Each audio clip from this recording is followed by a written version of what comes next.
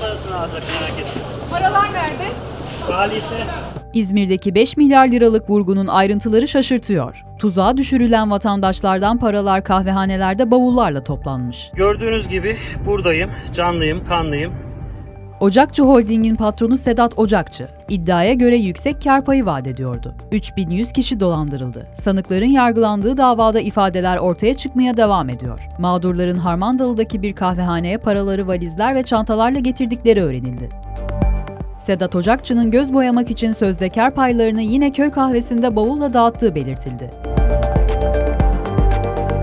Öte yandan Sedat Ocakçı ifadesinde asıl dolandırılanın kendisi olduğunu savundu. 5 milyar liralık kripto olan soğuk cüzdanının şifresini nakde çevirmesi için akrabam Salih Han'a verdim. O kaçtı, bu durum yaşandı dedi.